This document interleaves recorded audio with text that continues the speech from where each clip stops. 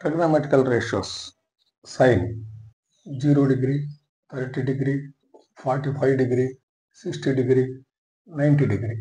Here square root of 0 by 4 square root of 1 by 4 square root of 2 by 4 square root of 3 by 4 square root of 4 by 4 it is very easy to remember. Square root of 0 by 4 1 by 4 2 by 4 3 by 4 4 by 4 we can simplify. 0 by 4 is equal to 0 square root of 1 is equal to 1 square root of 4 is equal to 2 2 ones are 2 twos are. 1 by root 2 root 3 by 4 root 2 where 4 ones are 4 ones are. 1 this sine 0 values are here. Sine 0 is equal to 0 sine 30 is equal to 1 by 2 sine 45 is equal to 1 by root 2 sine 60 is equal to root 3 by 2 sine 90 is equal to 1 next cos. Simply reverse it. Cos 0 is equal to 1 cos 30 is equal to root 3 by 2 cos 45 is equal to 1 by root 2 cos 60 is equal to 1 by 2 cos 90 is equal to 0 next tan. Tan is equal to sin theta by cos theta.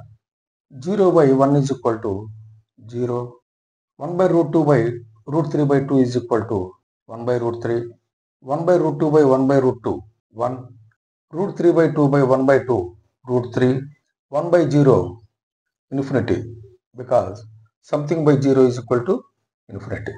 Next what about cosecant we have the formula sin theta into cosecant theta is equal to 1 cosecant theta is equal to 1 by sin theta. Whatever the values simply reverse it. 1 by 0 means something by 0 is equal to infinity. Reverse it. 2 by 1 reverse it.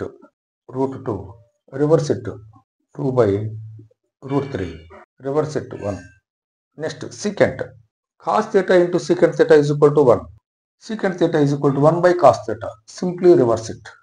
1 by 1 is equal to 1 2 by root 3 root 2 2 here this is 1 by 0 1 by 0 means infinity. Next we know very well that tan theta into cot theta is equal to 1 that means cot theta is equal to 1 by tan theta. Root 3 here 1 this is 1 by root 3 here 1 okay friends. Thank you